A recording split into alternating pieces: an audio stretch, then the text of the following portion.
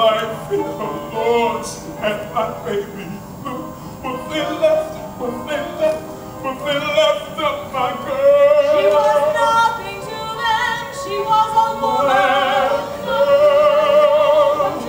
So they beat her, beat her,